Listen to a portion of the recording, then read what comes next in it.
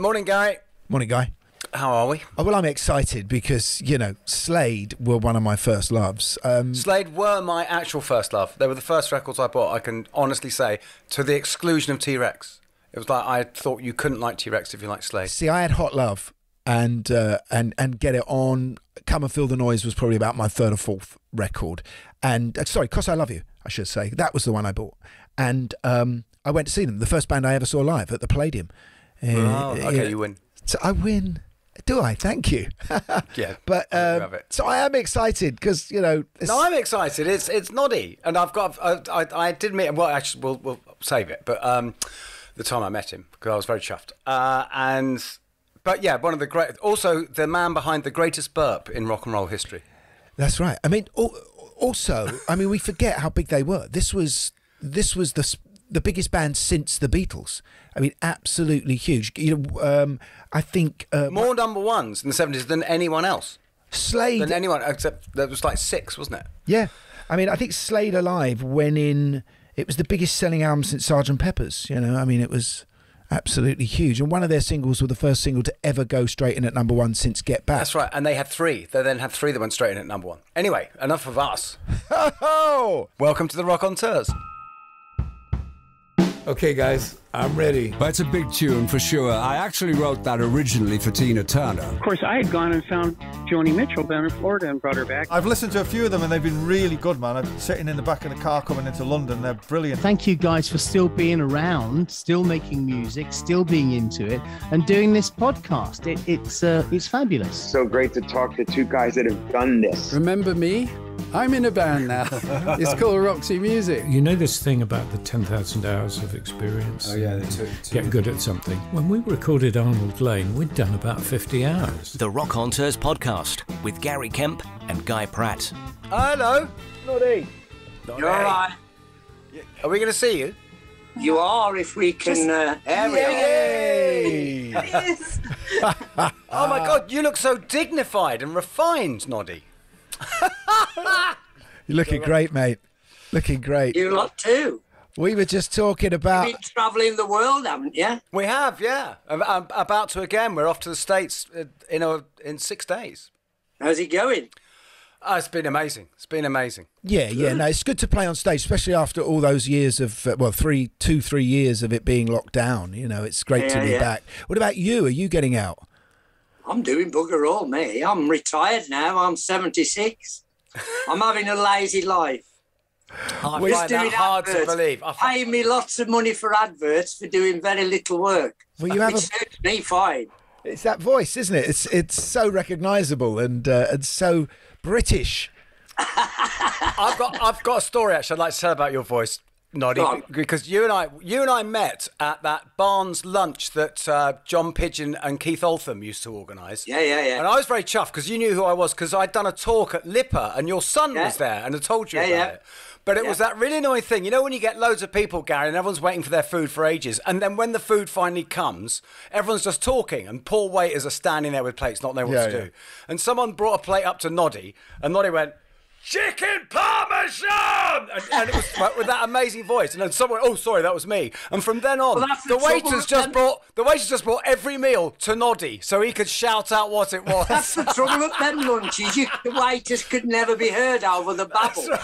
They could Oh, I hit- used to have to shout Everyone heard over you, mate. Everyone heard over you. Fantastic. Oh mate, because you're you are promoting a new box set that's just come out. Are you, Noddy? Is I that right? am, yes. Uh, it's uh, five live CDs. Three, uh, two have been out before, which is Slade Alive, the first one, of course. Come That's in it. Yeah. Slade on stage, the last live one we brought out.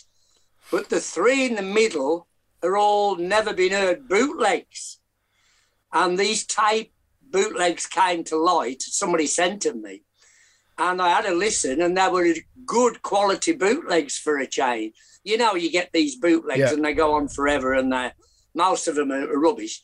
But these three were absolutely good. And uh, we had them remastered, and they sound bloody great. Uh, one is from 1974, 75. It's the New Victoria in London. Yeah. Uh, another one's the Reading Festival in 80, which give us a second wind. And the other one is a great one. It's a warm up gig we always used to do. It's also from 1980, and it's a place called Hucknall Miners Welfare. And it's where we used to try out new songs that we'd recorded but never done on stage. So it's a whole concert at this Hucknall Miners Welfare, and it sounds bloody great. That's from your old manor, is it? I, I presume. No, no, Oh, it's it's? Hucknall Miners Welfare. No, it's Oh, over okay. in uh, sort of uh, Nottinghamshire way, sort That's of over that way, over the east of England. now. well, but it's a, it was a great atmosphere place. They used to use it as a rock venue, like once in a blue moon. But the atmosphere was electric there always, so we always have Was a it? great time there. That Well, was I mean, I could just- hot meat pies are on at back of all. Just over my shoulder there, Noddy, you can probably see that's my see that's yeah, my yeah, original yeah. copy of Slade Alive from from I think it was, God, okay. that must be about my the second or third album I ever bought, maybe the second. And um, I think Electric Warrior was my first. Sorry to mention the competition. Boo. Yeah, But- but, but, I um, cannot, yeah, go on. I've got Electric Warrior as well. Yeah, yeah, what an album. But but I just want to say, having listened to the Reading Festival, I mean, this was a, a great. I mean, we could start with that first, if you like, because it was an extraordinary moment. Because you you'd you'd you'd got a, you know you'd got a bit you slipped away a bit, Slade, Yep, yep. and and then. And then there was this chance, this opportunity to play the Reading Festival and top the bill. Just, do you want to just tell us the story? Well, we uh, we've been trying to get. As you say, we'd come back from the states. We'd had two years in the states, so we totally lost ground in Europe. And we came back. Sort of punk was happening, and all that stuff was going on. And we were, you know, we had to make a decision: do we carry on, or have we had our day? You know, uh, boring old farts. Uh, and we decided we'd carry on and start from scratch. Go back to smaller venues we were still writing and recording. We still had a record deal. We were still selling records in Europe. Uh, and uh, we tried to get on Reading two or three years running. Course, we weren't cool enough to get on Reading because we'd gone, uh, you know, we were on the skids at that time. And 1980 came along, and Dave Hill, the guitar player, he'd pretty much left the band. He'd walked out, he'd had enough uh, because we were banging our heads against a brick wall and had been for a couple of years. He'd left the band. Then, out of the blue, my manager called me and said, uh, Reading want you on. Ozzy Osbourne's band have dropped out. Now, Ozzy was going to be special guests on the bill to Whitesnake. He had the boot out of Black Sabbath and he'd formed this new band, uh, Blizzard of Ozz. They apparently weren't ready to do shows.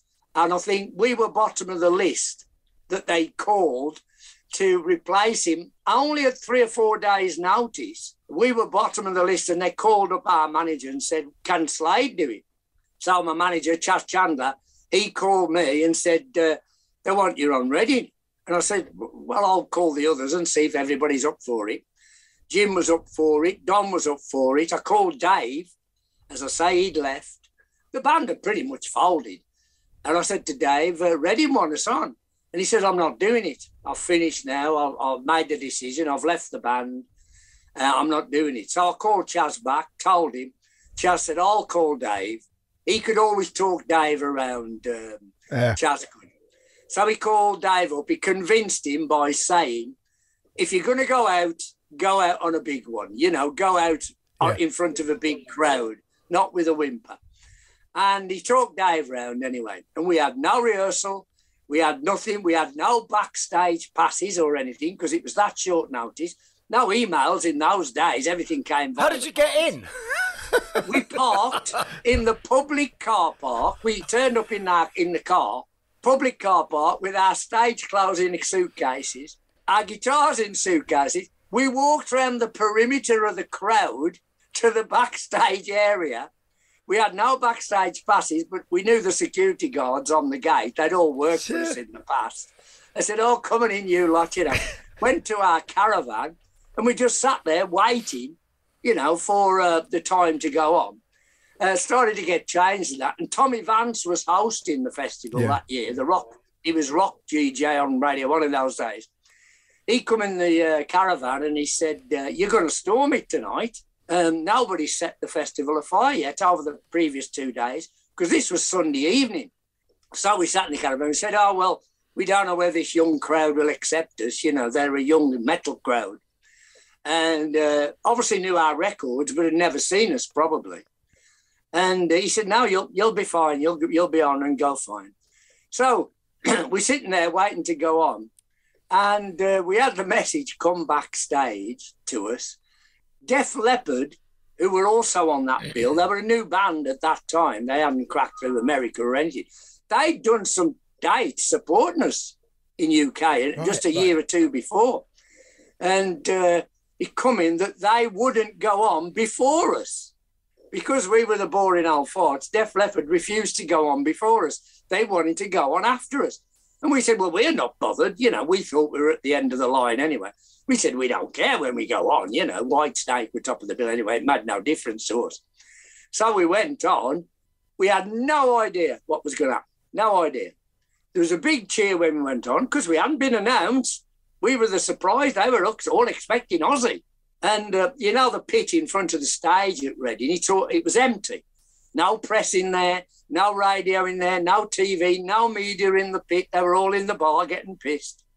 And so we goes on, we does our opening number, tore the place apart. We kicked into the second number. I didn't wait to do an intro. I just opened with, uh, went straight into the second number. And uh, the pit suddenly became full of the media because they'd heard the kerfuffle backstage. They'd heard the crowd going berserk. And we stormed it. It just grew and grew and grew the reaction all the way through. Yeah, well, we've listened to it, and I've got to say, and it's because yeah, the sound of the crowd. I mean, and uh, your performance is amazing. It's astonishing. Well, it's you know, we didn't know what to expect, and of course that drove us on. The sound of the mm. crowd mm. drove us on, and you know, you never get an encore at a festival. We've right. been told unless you're top of the bill. You do your set time and that's it, you're off. Well, we, we, we, we finished the show as we would normal. I think we got 45 minutes, the allotted set time. And we came off and everybody backstage was raving. The crowd were raving, wouldn't let us go. So the promoter said, you better get back on and do another. So we went back on, did Mama All Crazy Now, which was our regular encore anyway. Yeah the crowd still were going Wally when we walked off. The promoters, You better go back on again. We're not going to quieten them yet. So I went on and said, Is there anything you want to hear? Just thinking they'd shout out various songs. And they all started to chant Merry Christmas, everybody. And I said, We're not doing Merry Christmas. It's August bank holiday. We're not playing that. You know, we never played Merry Christmas unless it was Christmas time. And uh, they were all saying, Merry Christmas, Merry Christmas. I said, okay, we're not going to play, but you lot singing. So I kicked them off in the chorus, and that, and all the crowd sung it, 65,000 of them sang it, sang the song. Now, Noddy, this is uh, it's an amazing sounding record. I mean, it really is. I mean, you know, Slade, Slade Alive is is one of, you know that is yeah, one of the greatest live albums of all time this most famous burp. energy. Yeah, we'll discuss the burp. But this has so I have to do that energy. every every time after Slade Alive when we did Darling Be Home Soon. Oh, if I miss the burp off, the audience would go mad. Half the audience would burp. Anyway, so look, just to fill people in who don't know, so uh, on, on Dar- "Darling Be Home Soon," which is who who did it? It's a John Sebastian song, John isn't Sebastian, it? So yeah, delicate, beautiful. Yeah. There's this moment halfway through where you, you hear Noddy go burp. Yeah, that one that one planned it. Of, we'd been drinking. Funnily enough, that that night that that's taken from, Slade Alive Volume One, we booked uh, Command Studios on Piccadilly. It's a studio come mini theatre. So we booked it for three nights to do a live album any crowd could come in. Wasn't a massive crowd at all. It was about a few hundred people, but they'd got all the studio facilities in there to record. So we recorded the three nights on the trot. What came out as the record was the second night. And we'd been at Top of the Pops that, that evening, doing a Top of the Pops with what became our first number one, which was Cause I Love You. So we were over the moon I helped do it. Look, I help. Oh, that's, my, I've got this. He holds the singular. oh, we'd had a few bevies. We'd had a few bevies, of course. Gets to the studio, Command Studios. We're all in a good frame of mind because because I love you was was up there, and it was you know massive record for us. And uh, we went on stage and the playing, you know, we we we really kicked it. It was great. And of course, in the middle of Darling Be Home Soon, which was the one slow song we used to do in the set anyway, you know, I was ready because I'd had a few beers. I was ready to burp, so I did let, let it out. So it wasn't planned at all. Do you know what was odd? It, what's odd is that at that time, and that was a huge album. I've already just said. We said in the intro, you know, that was the the biggest It album. broke us round the world. Uh, incredible, and it, Canada, Australia, all over the big place. biggest selling album since Sergeant Pepper's, I think it was, and at the time. In Australia, but yeah. but but what's what's what's sort of crazy and is only of that time is how bands could break on a live album. I'm thinking Yeah, later on, right. obviously Peter Frampton, but but but uh, really humble pie, humble pie. You know Yeah, that rock yeah, r- rock yeah. in the Fillmore, and in a way, there's a that, that, that you know it's extraordinary that you get to break on a live album, but you can understand when you've got artists who sing like you do or Steve Marriott does. Live is where they belong. That interaction Correct. between You're you and the crowd. We never matched up on record. I mean, we had a lot of hit records and got great sound on record. Your record sounded we great. never matched up Yeah. to the live performances, really. You know, when you get in the studio, it all has to be a bit planned out. Not so much in the early 70s, because we used to go in the studio, take the stage gear in and bash out. We were an engineer's nightmare. We were. but we liked the overlapping on all the mics, even though we were baffled off, like you t- used to have to be in those days. The, the volume we played at in the studio sort of leaked on the drums, the drums leaked on the guitars. But that's what got our sound, our unique sound. But we'd always loved albums, particularly like Live at Leeds, uh, Yeah. The Who, Yeah, yeah, yeah. and people like that. We liked that sort of album. Uh, and Chas Chandler, our manager and producer, of course, who discovered and managed Hendrix, he'd been round the block. We hadn't really broke through with any hit records. He'd had us for a, about two years. Couldn't get us play on radio particularly. And um, he said, Your forte is live. We've got to bring a live album out. He said, The Who did it, and whoever else had brought them out before that. He, I think the Stones had had Get Your Ya-Ya's Out. Or, yeah. yeah. Oh yeah. And he says, "We'll, we'll let's go with a live album. If that don't break through, God knows what we're going to do." So that's that's why it came about. It was his suggestion, really. Uh, He'd, uh, he he pushed us to do it, and uh, we were quite happy to do it, quite frankly. And I'll, I'll make a point to you there. It was the biggest profit album we ever did. That album, Yeah. totally, to record for three nights and mix it, four hundred quid No. and it was in the charts just in UK for 13 months. I was going to say, no, no wonder I've never heard of that studio. It must have closed down if that's the sort of rates they were charging. 400 quid. It, it, it- you know, it On, wasn't. Piccadilly, on Piccadilly? Yeah, it was where they used to do. Um, it wasn't a big studio. It's where they used to do a little radio broadcasts and that type of thing. It was that sort of studio. It wasn't a proper bona fide rock and roll studio at all.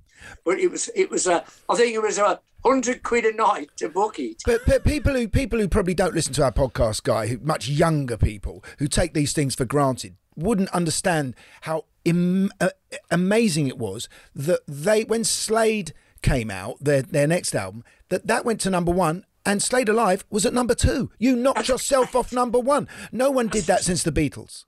That's true. Yeah, yeah, yeah. I mean, it was a phenomenal break. Yeah, admittedly, it came out the next week. But and, it, and, it, and it summed us up. That's the point. It, it summed up what we were all about, and that's what why the people liked it because up until that point we'd had "Get Down and Get With It," which was a single that sort of showed what we were like on stage. It was a big stage record for us anyway. Way before we ever recorded it. That was again the suggestion of Chas Chandler. He says, "Let's put it out, get down and get with it." It's a Little Richard song, to wasn't it? finish the show. yeah. It was a- a li- But a- I a would say, I would say, Noddy, that you did, you did actually manage to take that really heavy sound into the studio because your, you know, your singles, all those I got. I said, you know, you were my first musical crush, and you actually had that really heavy, much heavier sound. If you look at your contemporaries like the Faces or um, T Rex or whatever, you, you had a very kind of metal, big guitar sound. Yeah, I mean, on mu- that we did. record. the intro of Mama We're All Crazy Now. I mean, that you can compare that to the beginning of Anarchy in the UK, can't you? I mean, it was Yeah, phenomenal yeah. guitar But- sound. But that was down to trying to transfer our live sound onto record. And Mama is probably a good example that, that you've picked on that because that's probably the first time we ever created the guitar sound that we had on stage into the studio. I mean, Dave was very good. Dave, people slag Dave off for his outrageous outfits and all that. But what Dave had he had a great chord sound. He wasn't a great, what you'd call a lead player. He couldn't play fast licks or fancy, fancy, bendy, bendy, fast licks. He wasn't that sort of player. But what he had was a great chord sound. And he used no boxes. That it was Right. guitar into amp via, I think he had a treble booster. That's all he ever had. Yeah. And he had this sound, which was enormous. Controlling it in the studio was difficult for the engineers. Humbuckers. Yeah. Yeah, because I me and him combined. It was the I super yob guitar, time- wasn't it? It was the super yob guitar. He didn't use the super yob in the early days. That was a that was a terrible guitar to play. He What's it, what's it from Madness has got that? no Marco Yeah. Marco Yeah. Pirroni's got Marco it. now. Oh, Marco's got it. Oh, okay. I, I actually I actually played it round at Marco's house years ago. It's I was- impossible to play it. It is. It is. Yeah. I mean, we listen. We're going to go back and we're going to come forward, but I just want to. While we're just in this little bit of mode of you and how great Dave was live, I, I watched yesterday a couple of things. I watched uh, it's a footage of you playing in America on tour, and there's a Granada special where you play live in front of a, a load of Oh, I remember that Yeah. in, ca- in front of like a bopper audience. a bopper audience, and I'm looking for the pedals on the floor, but I'm also wondering where the monitors are because I No I went to the London Palladium to see you play. It was the first gig I ever went to. Uh, Really? yeah, yeah, yeah. S- supported by Geordie. Yep. And which and and we- we'll get onto this later because there is a connection between you and the lead singer Brian Johnson of Geordie, right? There is a connection. But but anyway, I I I've looked at pictures since of that gig at the Palladium, and there are no monitors on the floor. No. How did you ever hear your voice? Well, That's a Well, stupid this- question, he- right? No, how It's a did anyone else one. hear their voice? I think Noddy could the only hear thing, the way we used to do it, and people never sussed this in the very early days, before we were famous, when we were doing little stages, we had two Vox 30s, and Jim had a, a, a, sort of a mini bass stack. No monitors. We had our PA on the side, which was a WEM, a WEM column each side Come on. which nothing went through the WEM columns except the vocals. It was, they were all 10 inch speakers, I think. Right. And what we used to do, which nobody ever sussed, was mine and Dave's amps, our Vox 30s. In his Vox 30, he had one of my speakers and one of his speakers, and the same the other side in my Vox 30. So wherever you stood in front of the stage, you could hear both guitars. Right. Whereas if you stood in front of a stage of bands in a little club, if you're in front of the bass, that's all you heard, and the other side, Wow, that's all really- you heard. But I- we I- went. we can't go. We can't go into the technical side of that, but I mean, I wonder how you did that. It's just linking the speakers up. Oh, but what about your vocals? We just cl- cut cross crisscross the speakers across instead of having Wow. two two Dave's speakers in his amp. There was one of mine and one of his linked across the back Right. of the drums. And it was simple idea. And everybody used to go, bands generally, how on earth do you do that? simple. But then, of course, when we could afford bigger gear, we did it with cabinets each side of the stage like that, exactly the same. So we always had the same sound each side of the stage.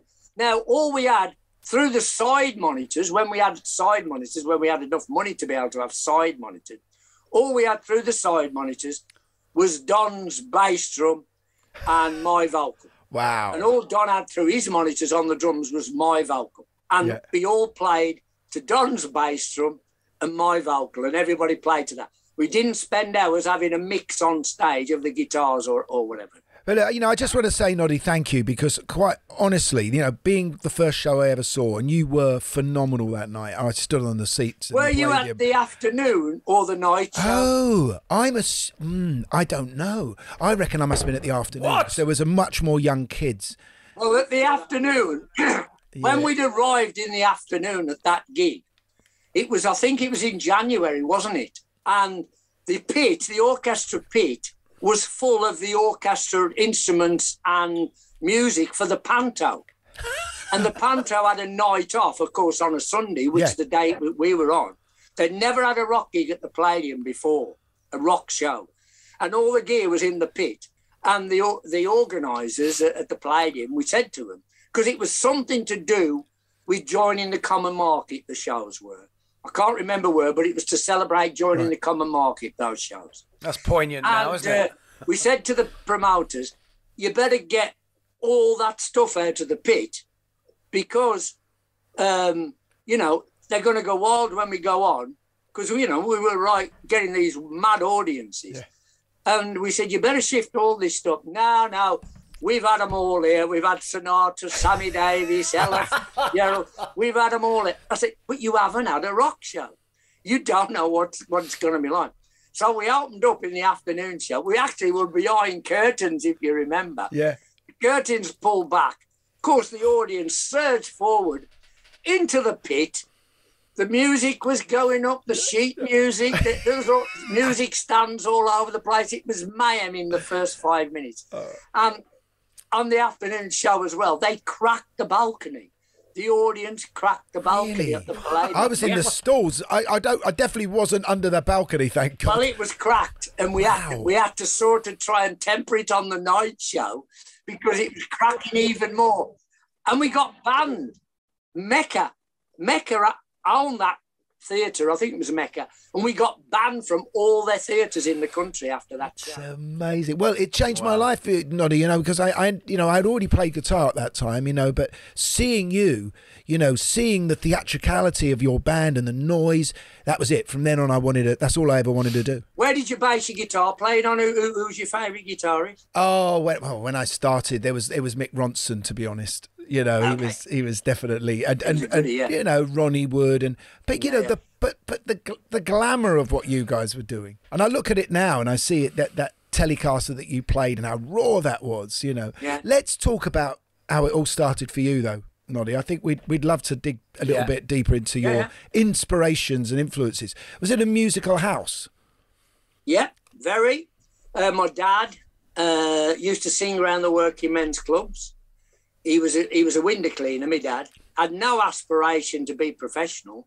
He had a great voice. I mean, great voice. But in those days, when you're working class kid, you never thought you could make money out of music. I'm going back to the late 40s, early 50s.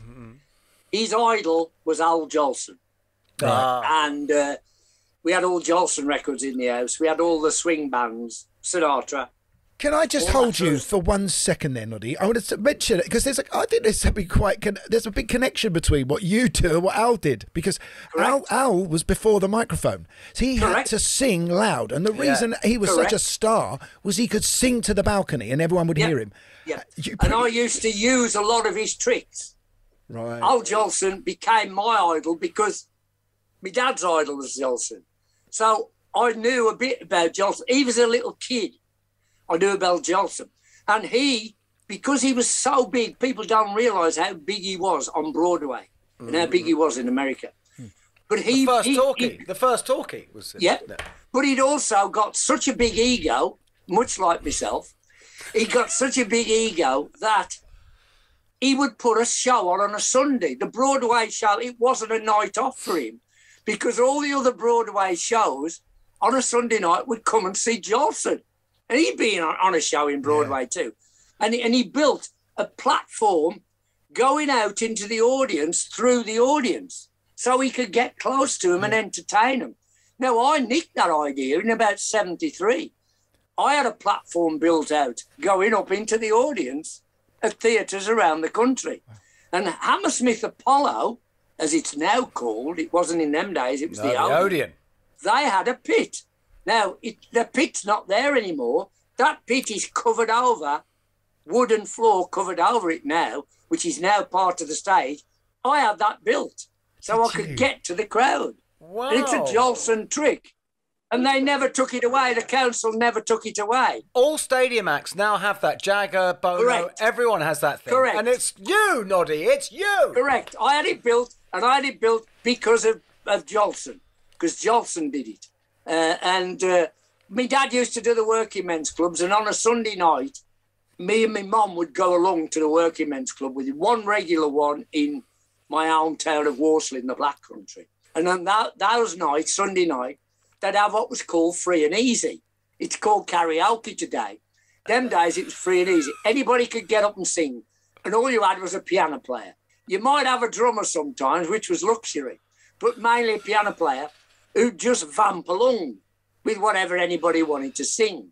Now, I used to sing in the backyard and entertain the kids in the backyard because we were in a council, uh, you know, tenement uh, block that you know, three families shared a toilet in the backyard. And I used to entertain the kids doing put puppet shows and singing and whatever, charge them a penny a time, put that money towards buying records and whatever. And uh, my dad, this one Sunday night, he heard he'd heard me singing in the yard. He knew I could sing, and he played records in the house all the time. And uh, he said, "Come on, Neville." He called me Neville. My mum and dad did in them days. Come on, Neville, get up on stage. Let's hear you sing.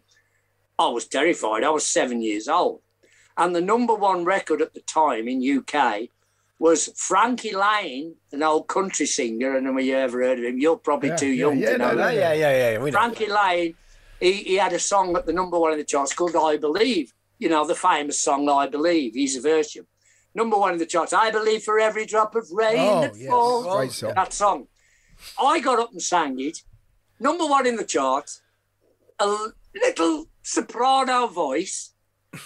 And it took the roof off the, the Working Men's Club. And I thought, this is it. This is my taste of applause. Ah. and it was downhill all the way then, downhill all the way. And I'd found my vocation. Never thought for a minute I could make money out of it. But I went on and on then and used to get up every week then to uh, get up and sing in the, in the clubs with my dad. And uh, then the breakthrough with me, the big breakthrough that was my biggest, biggest epiphany, for want of a better word, is seeing Little Richard in the movie The Girl Can't Help It. That came around in UK probably 56, 57. I think Bowie said went- the same thing. Bowie said the same thing. I think. It Yep, Bowie for saw it. A lot of rockers of my age. It was that or Blackboard Jungle, wasn't it? Those were the two. Yeah, it was sort of, it was the introduction. And the thing was, you'd heard the records, but you'd never seen them. You did not know what they looked like, these artists. So you go in to a movie like, don't mean they were crap movies, really, but you saw Eddie Cochran, you saw Gene Vincent, you saw all these artists playing on stage. And you, you'd never seen them before, you'd just heard the records. So Little Richard comes on in The Girl Can't Help It, playing the piano. He's got this rocking band behind him, these saxes all mm-hmm. doing the dance, you know, with the sax dances behind him. He's playing the piano, hair bouffant up, thick makeup, because nobody knew Little Richard was gay in those days. You Yeah. know, you didn't know that was such a word. Shiny silky suit and standing up playing the piano and dancing while he's. We'd never seen that in UK. Anybody standing up playing the piano, and he's dancing while he's playing the piano, and this voice coming out of him. And I left the cinema. I go, my God, this is this is just incredible. This is this is what I want my life to be. But Noddy, there's another bit to that uh, that people said that, that the reason I think those films were so important and why Teddy Boys went mad and ripped up the seats Yeah, yeah, was yeah. that record players at home were pretty polite little things. And so it was the first time you got to hit not only see them, but you heard that music at that volume. In a big speakers. yeah, yeah. exactly. So And it's the same in coffee bars. We don't have them these days, coffee bars. In coffee bars, in my day, like we, we, we'd go at in lunchtime from school break and, and after school, we'd go in a coffee bar where the Teds used to hang out, as you say. And there's always a jukebox in the corner. And they'd always got the current hits on there, generally rock and roll hits, and pumping out of a jukebox speaker. You didn't hear that at home. Couldn't help but move you, you know. Was there- it was just amazing for a kid. Was there a club in the Midlands where a lot of these young kids wanting to be in bands gravitated to? Because I just want to think about those bands because that was quite a scene. You know, you're talking about I, the Idle Race, which uh, Yeah. with Jeff Lynne and and, and Yeah, yeah. the Move obviously started. Steve Gibbons band, Yeah. um, ELO, Robert Plant in the end. Uh, Yeah. But was there Oh, a you- oh, place good. Yeah, yeah. that you you Well, I used to drive Robert's band That's- about. yeah. what? He, he, uh, he, he, Yeah, this was before Band of Joy, wasn't it? This was another oh yeah, band. before Band yeah, of yeah, Joy. Um, he, he was, um, he, he left home. His mum and dad didn't want him to be a singer in a band, and he was always knocking around, coming and watching bands. And he, he, eventually he joined a band that the kids in that band were at school with me. There were a couple of them were at school with me. I still see the guitar player now when I'm in the Midlands. I still see him, and they never had a van to take them around. And Robert moved in to Walsall with one of the band, and they never had a van to run them around. They used to slum off other people and borrow gear off other people. And if my band weren't playing, I took my dad's window cleaning van and drove them around and unloaded the gear in and helped them load the gear and that. This is I'm going back three, Steve. And quite often I- I'd had, I've had uh, plenty in the back of my dad's window cleaning van waiting for him because he's got a he's got a young lady in the back amongst the buckets and ladders, you know. camping about in the back. And I- you know, That's I- what you're I here for, folks. When I see him, you know. But, remember the days in the back of the window cleaning van? and uh, that's how I got to know him. And he used Where's to the come to all van? time. Where's that van now? Yeah, where's it's a that national van monument. now? Yeah, yeah. It was one of them old Bedford dormobiles. But- you know, where the engine was inside and you, you, you warmed your backside on the engine. But you, you, you ended up playing in Steve Brett and the Mavericks. What was that like? Is yeah, that, yeah. Did that, Well, I had this band from school who were we we, we became sort of an R and B band uh, around 1962. We'd done all the pop hits before that and playing working men's clubs, ballrooms, that sort of thing. And this is all pre-Beatles, all the bands right? you're talking pre-Beatles, about, isn't it? Sorry, pre-Beatles. This is pre-Beatles, isn't it? So, Oh yeah, yeah. so running what you're, yeah, yeah. Oh yeah, but then you could be doing all the ballrooms, you know, and and uh, I saw the Beatles in those days twice around the Midlands when they were wearing leather jackets and before they really wow. had the Beatle cuts. They were a, a filthy rock and roll band. They were bloody great then, doing the cavern. I saw them a couple of times, and you'd never imagine that they would be become the biggest band in the world. There's, there's no way you would have imagined it. Why, were, they not all that? had were they not all that? They, they, they just got something different. yeah. They were, firstly, they'd got all their amps turned up full, whereas bands at that time were very polite, very polite playing. Mo Many of them, most of them, based on Cliff and the Shadows. Right. There was only some nitty, nitty gritty rock and roll bands around in those early 60s, late 50s, early 60s.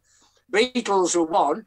Johnny Kidd and the Pirates, I remember, were Right. another. Come on, tas- I saw them. Screaming Lord later. Sutch and the Savages was another. They had all these musicians pass through those bands. You know, like Ritchie Blackmore passed through those bands. You know, all Sutch and the Savages. He had all sorts of famous musicians went through his band, and uh, you'd go and see him at the local club, the local ballroom, or So the what local club? Was there one particular club, Noddy? Was there a particular uh, club? well, the clubs in the Midlands, really. Around Wolverhampton, there was the Ship and Rainbow. That was a regular club. There used to be uh, Walsall Town Hall, where they used to have nine bands. Bloxwich Bath, they used to have nine bands. Willenhall Bass, we played a lot. We played on in Willenhall Bass. We used to play there a lot. We opened there for Cream Wow.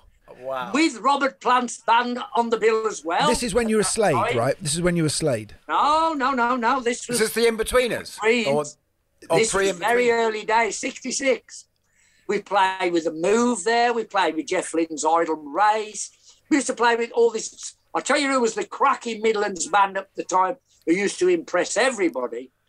Uh, one was the Moody Blues, Oh yes. when Denny Laine was the singer, and the other one was Spencer Davis Group. yeah, yeah, I remember going to Yeah, see yeah. Spencer Davis Group for the first time. I'd heard this people talking about the Spencer With Davis Steve Winwood. Yeah. And I went to a, a ballroom in a, a place called West Bromwich, which is in the Midlands. Went went to see in this ballroom, uh, I forget, Adelphi Ballroom, I think it was West Bromwich. And I'd heard this talk about Spencer Davis. And they came on, they sauntered on. They'd got the tiniest little amplifiers you'd ever see. They were Burns amplifiers. Burns. Never seen them since. Don't know whatever happened to Burns amplifiers. Uh, remember Burns guitars, you still Yeah. see them, but not The Burns amplifiers. They got these little amps on stage, tiny, one speakers in each amp. And they came on, they sauntered on, blum de blum de blum. And they started off, and they started off very quietly. And I nicked this idea as well for Slade. They started off with a song. It's my, just not with Stevie singing, uh, with Muff Winwood, his brother, Yeah, who was yeah. bass player, and Spencer were on one mic, and they went, "It's my baby, Joe, baby, my baby, you're so fine." And they went like this for, for about a minute, you know, boogie, boogie, boogie long. I thought, what's all the fuss about? And just suddenly, in the second verse, comes in Winwood's behind the keyboard and organ, Hammond organ, and suddenly you hear, "I like the way you walk," and it was like Ray Charles. This kid, he's 14, 15, and he's doing Ray Charles. What is this? Yeah, yeah. I mean, what a band! Uh, what did you What did you copy it on? What did I nicked that opening. we used to do a song by uh, 10 years after called Hear Me Calling. Yeah, Oh, yeah, yeah. Where we Hear me calling, yeah. Hear me calling. Slade Alive it's on. Yeah. Hear me Yeah. dead quiet. Then suddenly, bang, next verse, the riff comes in out of the blue. I nicked it off Stevie Stevie Winwood. Because on, on your first Slade album, obviously on that very first beginnings album, you know, when you're Ambrose Slade, you did do a lot of those middle. You did a Justin We Hayward did. Moody Blues track, didn't you? And uh, yeah, we did an idle race track. I had a race track, yeah, by Jeff We Lynne. did a, we did a, a Frank Zappa track. We did um, a, a band that Ted Nugent was in at the time. Oh, the, uh, oh, the Ambro. Was that the Ambro? Yeah, Amboy Yeah, Dukes. Amboy Dukes. We did Amboy. This was all our stage act at the time. We're playing anything and everything. But let's get on to the- We let's get- all who- different who- yeah. I want to know how you and Dave met, though, uh, because you were in you were in rival bands, weren't you? The Yeah. Vendors. We were rival bands, yeah, in, in Wolverhampton. And uh, it's funny, but Dave asked me to join the band and he'd never seen me sing. But Donna, the drummer, he'd seen me, and our tour manager who became Graham Swinton. They come to watch my band all the time because, as you say, we were sort of their rivals. And um, we were going out on a boat to Germany, both bands going out to do the German clubs. In 65, this would be. And I used to play the German clubs a lot with the band, with the Mavericks uh, that became the Mavericks. And uh, their band was going out, the original In Betweens. And we met on the boat, we were chat, chat, chatting.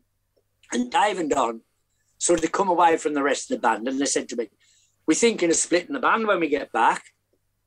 Do you fancy joining us? And I said, No, because my band were, I'd, I'd formed them from the off.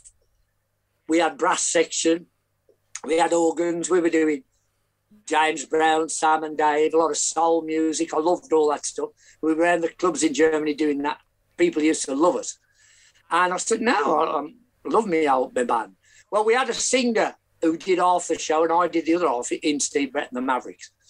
And I fell out with Steve Brett while we were over there, mainly over money. He was taking a big cut of the money because he was a bit of a celebrity in the Midlands. He was a TV star. He had his own TV series in the Midlands. He had the ah. Beatles on there, Gerry and the Pacemakers, all the Liverpool. so is, is does Alan Lake copy him? Is he trying to be him Pretty in the much, film? pretty much that sort of guy. Yeah, pretty much. Steve Brett was a bit more clean cut than Alan Lake was in Flame, but it was pretty much the same sort of thing. And he was taking a big clunk of the money. And uh, I had a bit of a row with him because we got stranded in Germany. The van broke down. It's the middle of winter. And me and the uh, the other guitarist in the band, we stayed over to get the van repaired and living with two chicks over there. And uh, so, uh, you know, we had to make our own way back, pay for the van to get back with all the equipment. So when I, when I get back home, I left the band. And uh, just out of the blue, I was walking down the street in Wolverhampton and I bumped into Dave and Doug, who by this time had, let, had sort of breaking up their band. They'd auditioned for a bass player. They'd found Jim, Jimmy Lea. They'd already got him in the band. So they'd been doing gigs, a few gigs with Jim and the singer they had at the time. And they said, We've heard you left your band. Do you want to come with us? And we said, I said, Well, I've got nothing else to do. Yeah. And we had a, we had a. Uh, I said, We'd better have a rehearsal, see if it works, you know. And we went to a pub over the road from um, my mum and dad's house, a place called Three Men in a Boat, which was another venue where bands used to play. They had every band going there at the Three Men in a Boat. And he, he used to let me use it for rehearsals, the guy who owned it. He was actually uncle of John Bonham, who became a drummer with Led Zeppelin. uh, and that was his pub. And um, he let us rehearse in there, uh, you know, on this afternoon for nothing. Because I used to play there regular anyway, play gigs there. And uh, it clicked and it sounded great. And we decided then we'd be a band. Because the, That's, that's more or less how it happened. we listened to to to I I know I did, and then I sent it off to Guy. Guy had already listened to it. It was the, this very small faces sound of the in between. Yeah, very small faces. Is it the in betweens? It's the in betweens, not the in betweeners. In betweens, yeah. And, In and, and it sounded very, sm- and I know how much Robert Plant loved the small faces as well because he he ended up. I think he got in a bit of trouble by copying some of the lyrics that, that Stevie Marriott had, yeah. uh, had written or, or copied himself. Um, but but you had Well, came, funnily enough, Sorry, go on. Robert Plant, when, when I when I the singer that was in the in betweens when I joined, we had dual singers there. I did half the set, he did half the set. He was a great singer, it, but he all they could all they did in there in the days before I joined them was blues. They only did twelve bar blues, and he was a great blues player, a singer, and a blues harmonica player. He was great. But Dave and Don wanted to move away from the blues. They didn't just want to be stuck in 12 bar blues. So that's why they asked me to come in.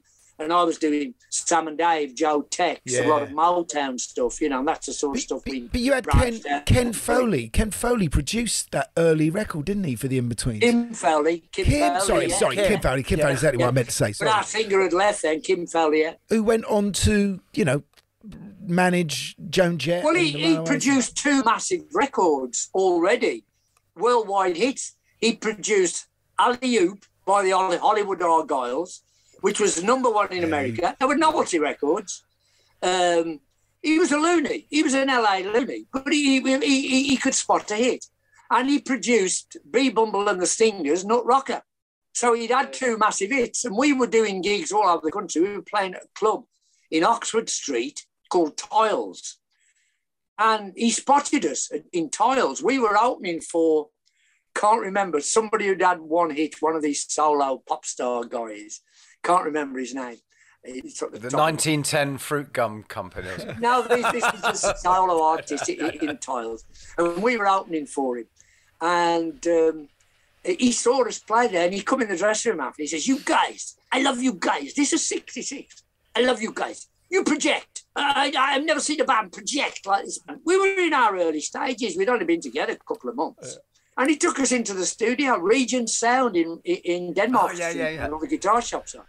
He took us in there for an afternoon. We cut six tracks, and one of them being a cover of the Young Rascals' "You Better Run," which was number one in America at the time. Hadn't been a hit here in the UK, but we played it on stage because we did all these weird different things. And he says, "We're going to put that out. You better run." And, and he, he put it out over here. It didn't do anything, but it, it it really shows us in our embryo stage. And at the time, Robert Plant was in the band that I used to drive around. He brought it out as well. He'd heard us do it, and he brought this record out as well. And there was for a time when our singer left, the you want to go who was there before me, that there was talk of Robert Plant joining us, coming in with us. And Jim never seen Robert Plant, so him and his brother went to see Robert with this band that I used to drive around because he knew I was a big pals with Robert. And he went to see Robert. He, you know, he came to wanted to ask him, you know, do you want to join us? But he was never going to, I don't think. And uh, Jim went and saw it. When he come back, Jim and his brother, he said, "What did you think of him?" Then he says, "Well, he didn't really sing." He said, "He just danced about a lot and shouted, sings."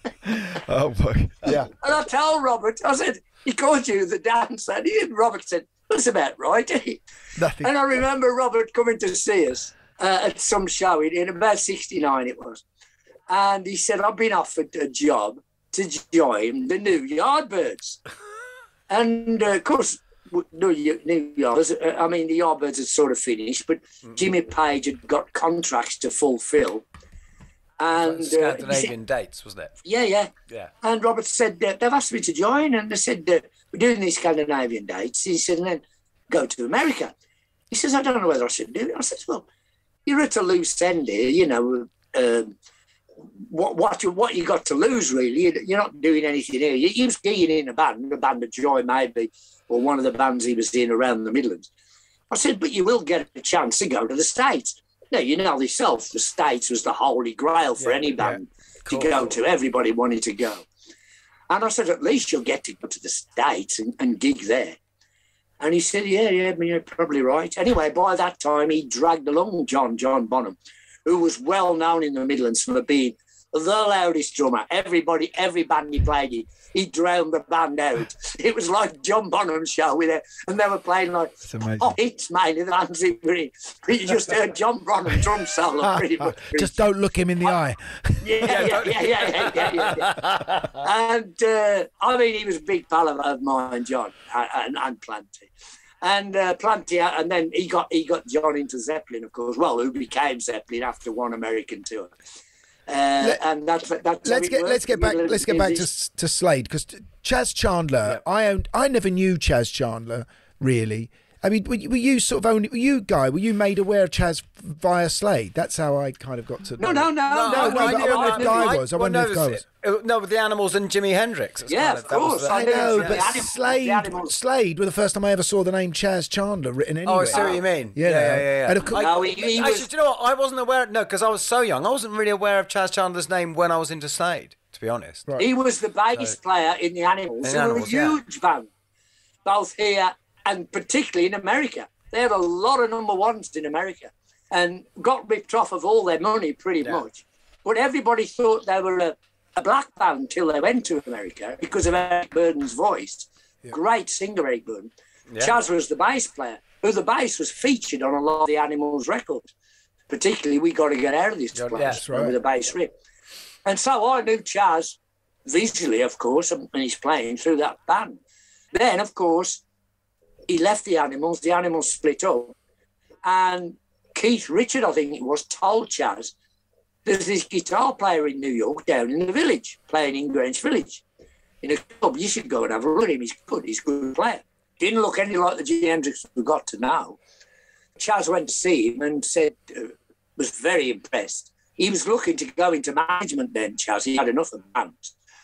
He said to Jimi, um, do you fancy coming over to UK and forming a band there uh, and we'll try and break you in UK? And he did. He brought him over. He, he took him. They, between them, they formulated the Jimi Hendrix image, the wild haircut, the clothes, because Carn- Carnaby Street was way open at that time took him to a hairdresser that created the Jimi Hendrix haircut.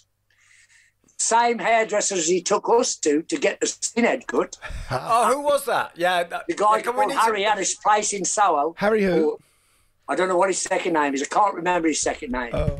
He's still cutting hair now. He cuts my daughter's hair now. No. He does Oh. freelancing now. Where? Where? Where? In Soho.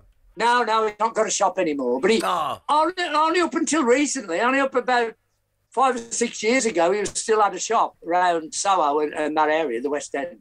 Because you're very well coiffured. It must be. Oh, he said, done to buddy, me. He still. hadn't done me for No, years. but But keep someone in touch does. with him. We text one, and I, I text him dirty jokes and dirty videos. uh, but we do keep in touch. Because Chas And he convinced created you. it. Chas convinced you to be skinheads, didn't he? Because it wasn't did. a skinhead band. He and in a way, it was a bit like when um, when uh, was When it the Who became mods. when the Who became Correct. mods. Yeah, yeah. Exactly the same. Chas said we've got to get an image. We we'd been with him a year, couldn't get any get noticed really. We were doing plenty of live gigs around the country. And he said, We've got to get your image. And a PR man who we knew, who used to write for the New Musical Express, became our PR man, a guy called Keith Altham. Oh yeah, I know Keith, Keith. yeah, I know Keith. You know, Keith. Yeah, yeah. And he and he, he said to Chas, uh, he said, uh, "Why don't they have the skinhead image? Uh, the, the you know the Ben Shermans, the Brazers, the Levi's, the Doc Martens, crop their hair. They'll look like the kids in the ballrooms." And it was a follow-on from Yeah, the yeah, mods, yeah. really. The skinhead looking now days wasn't a political thing at all. And uh, Chas said, "Oh yeah, yeah, yeah, yeah." Of course, when Keith was out the way, he went, "Right, that's great." This was like a red rag to a bull for Chas. This was like a spot. Keith called him the next morning and said, I was only joking yesterday about him having the skinhead in. said, too late. They're down at Harry's having their hair cut off. We've got the Doc Martens, we've got the Ben Shermans. And it was too late then. I've seen a picture of you all in all your skinhead gear, but still with the hair. So it's like there was a weird crossover period. Yeah, with the cap I had, yeah. Well, that was a sort of, we'd started to, we had to move out of it slowly because we were having a backlash, mainly from BBC Right. radio and telly to get played. And then we started to move gradually away. Kept the look, but coloured it up. There you go. And that, but and so was it? And was it? Was it literally overnight to full glam? No, no, no, very gradual. Um we still had the same look. I had the braces, the shirts, the short trousers, the boots, big, big sort of uh, like Doc Marten boots, but they're all coloured now. It's all Yeah, yeah. coloured. Because you did had the our you, you had the flat cap, like the skinhead girls did. That's how it gradually moved to more colour. Right? And also, because one thing I want to get is um, the musical relationship in the band was very much you and Jim, wasn't it? Yeah, uh, from that point on, yeah. Yeah. Yeah, Yeah, because be- that's because- interesting. Because on that first second on that second album, it's Yeah. everyone's writing. You're writing with Yeah. Dave, Yeah. and then Yeah. suddenly it stops and you're Well, just. you and mainly it was Jim and Don writing together, and me on my own, or me and Dave. Uh, but it wasn't going anywhere from a, a point of view. Hit records just "Well, we're going nowhere here." Why don't me and Jim had written a couple before, um, and he said we need to look for a hit formula, some three-minute hit songs, and um, let's link you and Jim up. So Jim came over. To, I was living at my mum and dad's then, and uh, Jim came over one afternoon with his violin. Chas To write to write a three minute pop hit, he Yeah. came round with his violin. What a skinhead. Who knows? We'd had get down and get with it. Right. And Chas says, You must write your own re- your own song next it, next record. He come round and when we used to tune up the violin in the dressing room, because we used to play violin on stage on a couple of songs. I remember that's the thing. Is that's what I think. That's why Jim used to win Musician of the Year every year. Yeah. was because he was the bass player and violinist. We Well, were he all was so impressed. Yeah, that's right. He He had all the Yeah. We were we were rock and roll notes. Anyway, he come round and he got his fiddle, and we in the, when we used to tune up in the dressing room before a gig, we'd play Django Reinhardt, Stefan Grappelli type stuff. I've never heard Is of that why your son is called Django? Correct. Now, can I also say, Guy, on, on, on Noddy's Instagram site, which I don't think he posts on at the moment, but but there is an old, old, old It's picture of him. Oh, I- it's that's a fake, fake, not the old. Oh my God! Right. Well, there's an old picture. 'Cause Of, There's a lot of porn. There is a lot of porn. That, well, there you go. there's an old picture of him in the band. In, I think it's in the in betweens, and he's playing a, n- n- an unconventional chord shape. Put it that way. He's a Yeah. good player. This man. So uh, Freddie Degville, the guy's name, was the first taught me. He was a great Django player. I'd never heard of Django Reinhardt till that point. So in the dressing room, we used to do Stefan Grappelli, Reinhardt type stuff to, to warm up and tune fiddle. And he brought it around. We got this sort of rhythm and lick, which became "Cause I Love You." We wrote it in 20 minutes. Yeah. Wow. Dead simple. Never thought it would be a hit. Took it to Chas, played it like that, acoustic guitar, me singing, Jim on the fiddle to Chas. He said, I don't only think you've written your first hit, I think you've written your first number one. We went, oh, get away with it, Chas. And uh, we poo-pooed it. When he recorded it, thought it was a bit weak. Oh, well, it's a bit poppy. Then we did what we did on Get Down and Get With It, put on boot stamping, hand clapping, slidified it, bang, number one. And where did that idea for that hand claps and boots? uh, Was that because that was obviously on on, on, on From Get Down and Get With It. But where did it come from? Was it? Was Whose idea? Whose idea was it? Uh, well, it was on the original uh, Get Down and Oh, Get With okay. It record. oh, the Little Richard one. Yeah, Oh, I see. not so loud as we made it, but it was part of the lyric. Uh, when it all started to go insane for you, and it, you did, you were, and I said to the guy earlier, you were probably the biggest band since the Beatles. There'd been no question. Were the madness, the madness of kids following me being one of them, guy being one of them, running around trying to find you, see where you are. How was it for you? Did you feel that that uh, that encumbered your creativity? That you had to concentrate on other things instead. It's weird, isn't it, when you finally get the hit record you've been chasing? You want more hits. You want more hits. So, a lot of people, you got you got managers on your back, you got record company on your back. Don't forget, in those days, our contract was a five-year contract, not like today. We had a five-year deal. We had to produce a minimum of three singles a year with B-sides not to go on albums particularly, and at least one album a year. At least one album a year. You were lucky 'cause Elton had to do two albums. Did he? Well, Yeah.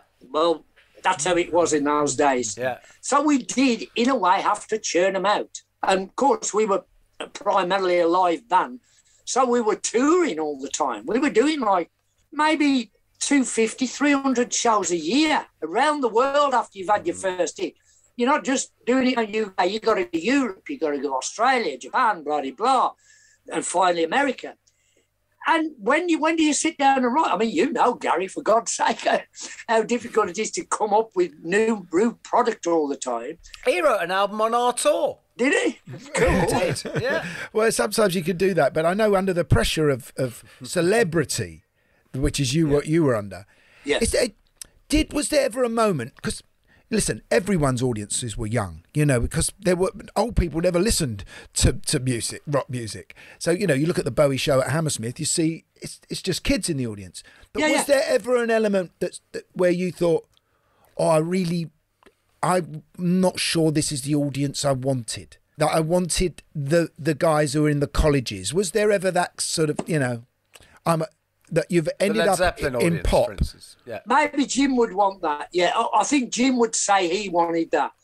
He was like, um, if he'd been left with him, he wouldn't have gone on tour. He'd have just worked in the studio. He'd have become a Brian Wilson type character. Right, right. Um, he never took to the rock and roll lifestyle like the three of us did. I mean, we we lived it to the max because we know, we knew, or we thought we knew, it might be a very short-lived thing. Little did we know we'd go on for 25 years Yeah, together, yeah, yeah. the original band. Um, well, no one, no one had. Yeah. No one ever had. No, you know, I mean, nobody approved that, had they? I mean, the Beatles only lasted ten years, really, um, and uh, so we, you know, we didn't know how long it was going to go. So if we, if you got your first tickets, You can't regret it. you're getting swanned around the world in first class travel, first class hotels. Yeah. I'd been on the road ten years before I'd hit. I'd slummed it, sleeping on the top of Shap Fell before motorways in icy cold fog and snow because you couldn't drive through the snow. Slept all night on the on the engine, the van uh, engine to keep warm. I'd been through all that Robert shit. Robert wasn't in the back on that one though, was he? Robert with wasn't, no, no, no, Robert wasn't. Well, Robert would be too. Do you know, I'll tell you what I did. Nod- Noddy, what I made, I remember so clearly. I made in my art. It was, I think, it was my first art lesson at school, and I made um, a, a cutouts of you, and I put each each limb and each kind of joint was um, had a little stapler thing in, so you could turn it and move the arm. And then I had two sticks, each attached to one of your boots, and I played the record in front of my teacher in the class, and I went boom, boom, lifting up your legs, stomping on the ground. I did, You oh, are making me feel old now. and, uh, yeah, but but the key That's to it, brilliant. the key, and also I had a little hat on with silver foil, foil mirrors because I've got some silver foil from my mum. And- where did that hat come from? That hat, Oh, the top that was, hat. that was going to be my come- next. question. Oh, Yes, sorry, guy. hat. Come on. Sorry, guy. No, no, no, mate. No, no, no. You, you. had I, I heard Freddie Mercury. Well, had brought everybody, it's grown up. It's an urban myth, really, that Freddie sold it to me. Freddie had a stall in Kensington Market in those oh. days, back in the early 70s. Him and Roger out of Queen. They had this stall there that sold shirts and sc- silk scarves and that sort of paraphernalia. And I was looking for a top hat that I could stick mirrors on, but it, it couldn't be a curved top hat like the proper top hat. It had to be a one you could stick the mirrors on flat sided. So it was your idea. The idea. Yeah, the oh, yeah, yeah, yeah, yeah, yeah. yeah, yeah. And I wanted a coachman's hat. Anyway, we used to go to me and Dave used to go to Ken, Kensington Market in those days, and we used to buy shirts and and stuff off Freddie. And he wasn't he wasn't a pop star in them days. I mean, I think they just started to rehearse together, him and Brian and, uh, and Roger, and because Brian and Roger had been in band together. Smile, I think they were called. Smile, Freddie yeah, was trying to get his way in there. And uh, Freddie, uh, Freddie sort of knew who we were and that me and Dave. And he used to say to us, Freddie, um, um, I'm going, I'm going to be uh, uh, uh, big pop stars like uh, like uh, you boys, uh, darlings, one of these days. I'm going to be. A... You say, oh fuck off, Freddie, you're not going to. And we just take the piss out of him, and he took the piss out of us as well. And we knew him all his life, all the Queen, we knew very well Ah. and um, we used to have a, a good laugh with him. And uh, but a couple of stalls away is where I bought the top hat, the coachman's hat, was just a couple of stalls from Freddie's. People say I don't ever grew up that everybody said Freddie sold it, but he didn't. But it was a stall near his stall. Yes, it was. And how did it stay on? Well, it was heavy. That's how it stayed on. I stuck mirrors all over it. They were proper mirrors, and uh, it was very heavy. I could not wear it You for about have three songs, and it, I put it on. And of course, it would stay on because it was so heavy. And I used to do the first two or three songs in the show. Then we come to a point in the show where I'd black the auditorium out totally, and just have a pin spot hit the hat, and it would throw out these huge beams from the hat. It's like the Pink Floyd mirror ball. mirror ball. and I could move it around the audience, and, and it lit the audience. up. It was an amazing effect. Yeah, it was. Dead simple, but amazing effect. And if you'd never seen it, you could literally hear the audience gasp when the lights went out and this hat went bang. You you could hear the gasp from the audience go, "Whoa!" And I was obsessed with those trousers rolled up, weren't you, Guy? I remember you, I actually had, Oh, the, yeah, the, uh, the tartan trousers. Yeah, full yeah. of basically I've still yeah. got some. and that was a skinhead. That was actually a skinhead thing, wasn't it? The rolling Yeah, up yeah. of the of the of all the copied from the skinheads. That uh, short trousers and the uh, and and instead of the bother boots, of course, we had the platform shoes, the pla- you know big chunky shoes.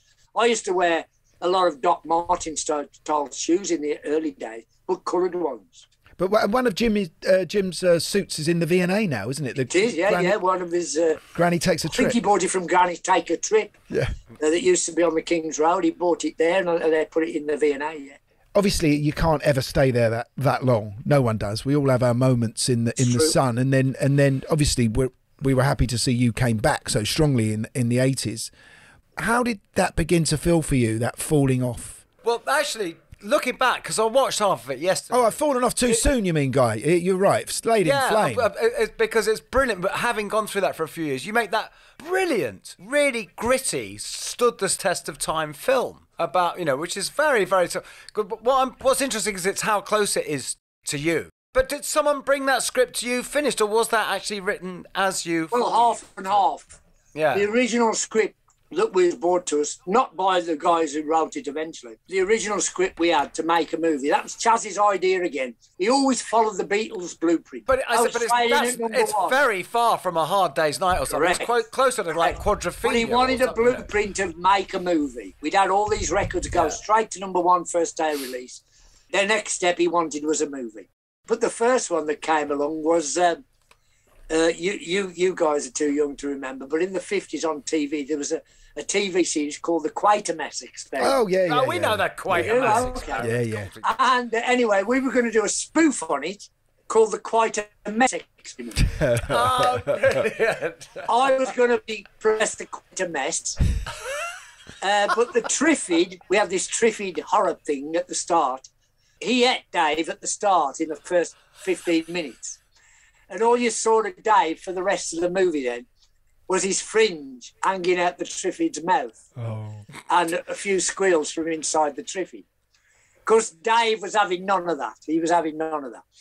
The second script we got was from a guy called Andrew Birkin and Richard Loncraine, who became the director. Jane Jane And it- Birkin's brother, wasn't it? Correct, you are. And um, anyway, they sent this script, and it was your typical script of about a band written by somebody who's never been in a band. It was mm-hmm. like what people imagine it's like in a band, but not the reality of a band. And we said to Richard and Andrew, come over to America for five or six weeks with us and tour, see what it's like on the road with a rock and roll band. So we took them to the States, and while we're traveling in planes or in downtime, we told them stories about us. We told them stories about other bands we knew. So every scene in Flame has happened to some band at some time. And there's a bit that was nicked by Spinal Tap, Correct. isn't it? Yeah. Correct. Anyway, they lasted on the road with us two weeks. They came back with nervous breakdowns, apparently. and but out of that developed the script that became Flame. And basically, they'd seen our characters because they'd spent a lot of time with us. They saw our characters, what we were like personally, as well as on stage characters. And they pretty much based the characters in Flame around that. It's My fa- character was pretty much me. Jim's character was certainly Jim. Yeah. Jim had, had had a nervous breakdown by the end of the movie because he was living what he was like in real life. And Dave the same. Dave was the funny. Don had had, had had his accident when we filmed. Ah. He couldn't remember a thing, but he come up with some good stuff. Don. Because I remember when Don had his accident, that was I remember that was, it was so cataclysmic, and it Yeah, was like that was, that was 73. the Oh, end. do you That know what? Do you- we were never going to see Don. Do you know again. what? There are like- times when you always remember, you know, like we remember when JFK was shot, we remember when the Queen died. I remember hearing about that accident, and we were Same we here, were all at uh, a, a- a sports day. Yeah. two days before, the day before, the two days Yeah. before, I'd seen Bowie at the Hammersmith Odeon. Ah, And I remember being in my sports day, and every, the ru- well, the rumor went round about uh, about this car accident. It was shocking. well, he was given 24 hours to live. We thought he'd had it. We really thought he'd had it. Gradually improved um, over a period of six or eight weeks. He was in intensive care in a big tent thing. Uh, I went to see him the day after the accident, and I mean, looking back on it now, it's in the far mists of time. But at the time, he'd had all his hair shaved off. He'd got cuts into his skull. There's no way you'd have thought he'd survive. No way. But he was built like a brick shithouse, Don. And he, his strength and his strength of character and his strength, you know, his physical strength, pulled him through. He's great in the movie. He could not remember a thing. He couldn't taste the smell. He couldn't remember the songs. He remembered nothing. And for the next two years, it was like we had to take him back on stage to a to see if he could play for a start still, mm. because the doctors told us that's what we got to do. We didn't think he would be able to carry on, but he did. Jim would tell him how the song started while I was chatting to the crowd. As soon as he started, he could get through the song. Wow. First track we ever recorded after his accident, we went to New York to record, and we keep him out of the UK and Europe limelight press. Mm-hmm. Took him to New York in the recording studio. That first track we recorded after his accident was "Merry Christmas, Everybody," Oh, Whoa. and he couldn't remember it from start to finish. oh my god. But the only thing live on that record, which is not the way Slade ever recorded, is the bass drum. He put the bass drum on all the way through, and we had to build it like a jigsaw. And, 'Cause you- and you he did it tried in- playing it all the way through, and I'd down the mic, and I'd got the cans on down the mic saying to the drum roll comes now, Don, here he comes, bubbity bubbity, and he go bubbity bubbity. And that's how we had to work in the studio for two years. Uh, and he could not remember a song for three minutes, a new song, couldn't remember it Wow. from start to finish. So you're saying that he shot the film after the accident? He did. Wow, because he's uh, phenomenal in the film. Would be out a year later. The opening titles on that film, because I isn't I I don't I didn't remember the film and I watched it again, guy. It's amazing, isn't it? I mean, Mark Kermode said it's the. Citizen Kane of pop music, of pop He, music. he does still does, yeah. But that that opening song, uh, You as a fan in those days, did you like it? yeah, uh, most fans didn't. In I did I. I did like it. I think you know I can't remember if I um, I can't remember to be absolutely honest, Noddy, if I if uh, Okay. how I felt, but uh, I was certainly I can't do remember remember because I still think to this day that "How Does It Feel" is one of the greatest songs you you've ever recorded. It was, yeah. Yeah. Uh, So Jim you had write, 'cause that, you write, uh, and you write great ballads. You write. Jim had that. You know. Jim had that piano lick since school, and he, uh, uh, uh, Slay, he could never obviously find out where to put it. But of course, when the movie came along, he said, "I'm, going to use that lick for the incidental music as well as the as for the song." Uh, Because didn't he bring up "Merry Christmas, Everybody"? It was something he remembered of yours from way back. my, it was that was the you first song I ever wrote Wow. in '67. The chorus was a was a hippy dippy song I'd written, and I played it to the band at the time. And the Merry Solstice. chorus- Was it Merry Solstice, everyone? I went to the chor- the chorus went um, don't forget this is hippie days. The chorus went um, so won't you buy me a rocking chair to watch the world go by? Buy me a looking glass to look me in the eye. and I played it the band with a verse as well. And the band went, rubbish. Noddy, your house wouldn't be as nice as it is today if you'd stuck with those lyrics. Monday, correct, correct to Monday. So uh, Jim remembered six years later, he'd done this chorus, he'd done this verse uh, of a melody that he, he, he'd created, and his his mum-in-law had been banging his ear, "Oh, you'd never be able to write a Christmas song," sort of thing. He poo-pooed it at the start, but he, he got this verse melody, and he remembered the rocking chair song from me, and he, he put the chorus melody to it, played it to me, and he says, "I think this is commercial." Uh, and, and my mother-in-law has challenged us to do a Christmas song. I think only Lennon in sort of the year before. We didn't think it was cred at all to do a Christmas song. But Lennon had done it, so we thought, well, we'll have a go at it. And we played it to. He said, I think it's great. We're going to do it. Uh, we're going to record it anyway. And I went away that night after Jim had played me what he got. And I wrote all the lyrics in one night after a session at the pub. And I just put down everything that I remembered about a family Christmas type thing. And we went to Chas, played it. He loved it. Uh, we recorded it in New York. As I said, we had to do it in bits and dabs. Bits. Where where in New York would you record? Like record plant in Oh, New record York plant, where Lennon, fantastic. where Yeah, Lennon course, recorded. And we the start that keyboard start opening chords of Merry Christmas is John Lennon's harmonium. We, we Oh. borrowed it. Play the opening chords. Um, and that's the only thing sort of Christmassy on it besides the lyrics. Isn't it? Isn't No, it? There's no choir, there's no jingle bells, there's nothing on it. It's a rock pop record with Christmas lyrics. Yeah. And it, it, it stood the test of time. In France, it was number one at Easter. Because in those days, it took Oh. so long to get played on national radio in France. How wonderfully contrary. Huh? How wonderfully contrary of the French. Beautiful. I, I, what was funny is you Midlands chaps that all knew each other were both fighting for the number one spot. Didn't Wizzard have it out the same year? He didn't year? know Woody was doing one. He didn't know we were doing one. Elton was also doing one that year. He didn't know we were doing one. And uh, it was a, it was like a battle of the Christmas records, which nobody realised was going to happen. But luckily for us, we'd done it in New York. It was a hell of a marathon to do with the way Don was. Brought it back to Polydor Records. We hadn't told them we were doing a Christmas record. Uh, they were pushing us to bring out a record at Christmas, but no mention of a Christmas record. And uh, we'd had all this trouble with Don's accident, trying to took him out on tour in America to try and get him back playing. Charles brought the, the tapes home, played it to Polydor. They flipped and said, This is going to come out. We're going to put everything we've got behind this. Because we'd already had two straight in at number ones that year with Yeah. Come On, Feel the Noise and Squeeze Me, Please Me.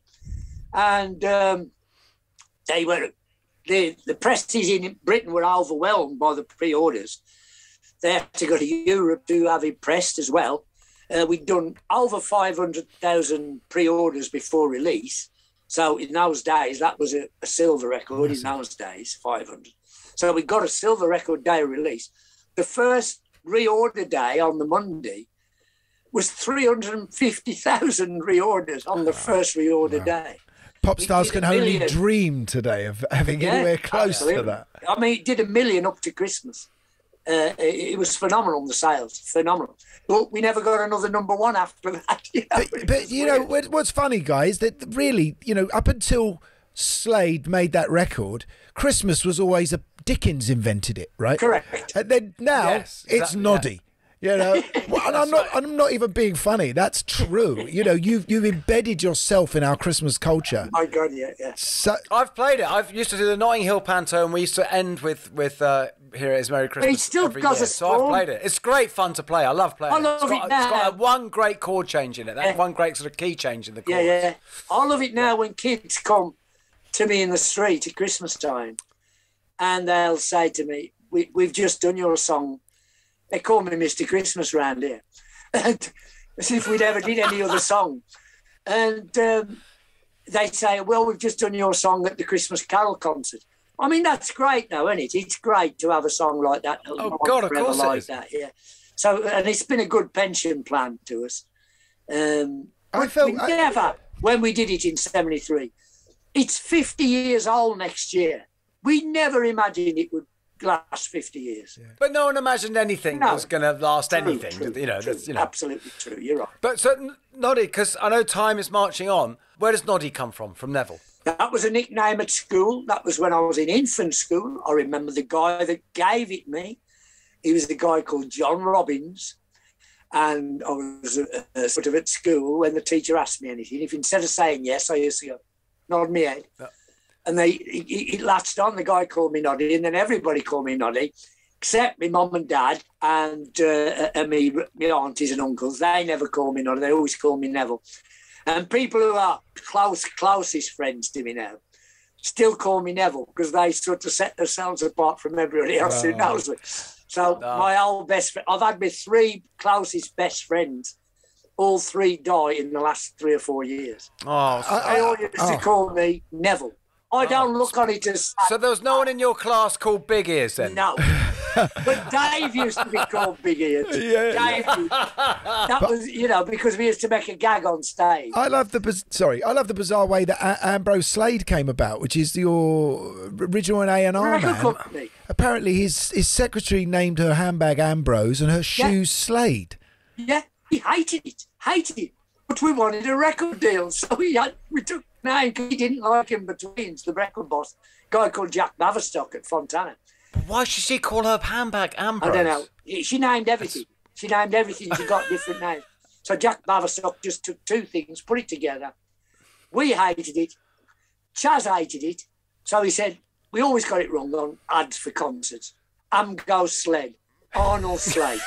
Never correct. Never. Ambrose Slade had a strange hobby. It was one of them, yeah.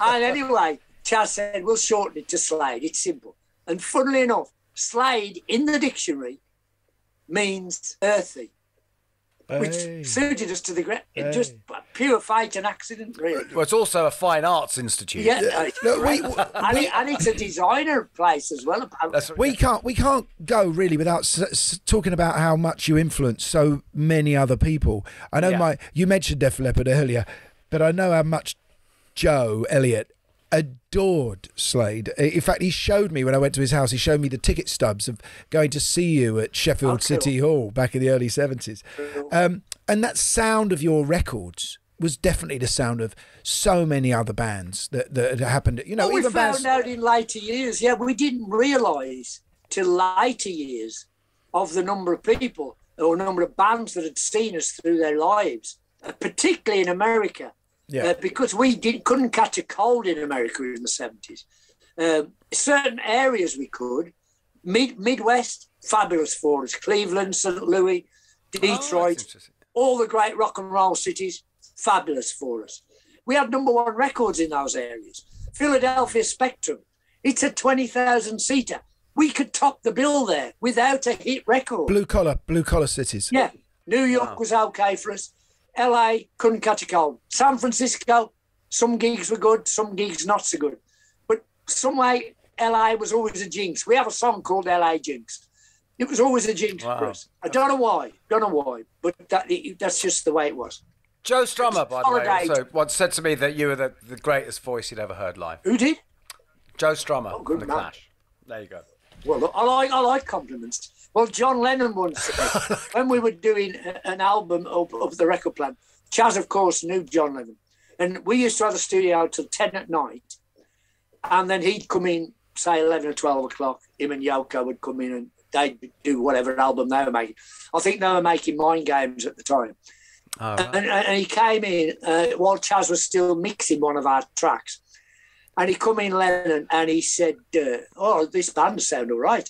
He said, "That singer's fucking fantastic. Best compliment I ever had, John Lennon." And Lennon didn't give out compliments. Look, Noddy, no one sounds like Very- you, mate. Nobody sounds like you. I mean, Yeah, that's- yeah. that voice. It was been such a pleasure listening to it for the last couple of days, hasn't it, Guy? Yeah, absolutely. It really has, and I'm actually probably going to carry on a bit. Frankly, it's been really, really it's been such a lovely rabbit hole to go down. Rediscover. Good luck with this live box set, Noddy. We're going to have to get him on again, aren't we? We'll have to get you. Come on again and join us. and We've we'll barely Will do, yeah. the surface. There's lots, yeah, more, it's lovely. there's lots more filthy tales to tell. Oh, I, Oh, we know. we, we did even mention Sharon Osbourne pointing a gun at you. at one point. Ah, yeah. Many tales to tell. Yeah, There's, ton- there's tons. There's tons. There's tons more. There's tons we haven't got to. Thank well, you when so you've been much. around at my age, you know, you've, you've been through a few stories. Look, eh, Everyone should go and listen to uh, well, listen to Slade live for, first of all because it's one of the greatest live albums ever made. But listen to the new And stuff. watch Slade in Oh. Flame because it is the Citizen Kane. I forgot of to rock tell and you, movies. while we were talking about Slade in Flame, the best thing, one of the funniest things I'll always remember about Slade in Flame. I told you about how each of us, our characters are based on ourselves, Yeah. including Dave's. And Dave didn't like the film in, it, in the end because he thought it was the wrong sort of thing that the fans wouldn't like. And they didn't originally, they didn't take to it really. And he was sort of right in his own way.